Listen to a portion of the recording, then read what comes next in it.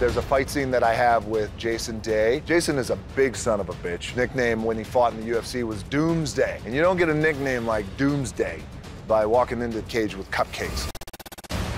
We wind up having Jason put me in a rear naked chokehold. Where you've got DJ saying, I want it to look real to make sure that it looks really, really good. We did a couple of takes, and I went back and I looked at the replay, and I said, maybe do one more. And you've got DJ mentioning to Jason, you know, like, you know, you can, you can do it a little bit tighter, a little bit tighter. And I'll be going up to Jason, no, don't, don't, don't, don't, don't. Jason, one more time, was like, you want me to sink it in? I was like, sink it in until you hear cut.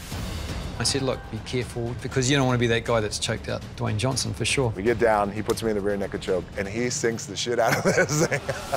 Dwayne's face basically turns beet purple, and I jumped out of my chair. And then I did call cut because I'm not crazy. My lights go out. Took me a minute to come through. It's a beautiful scene, but I wouldn't recommend it to anybody out there. It's not fun to get choked out. Don't do that.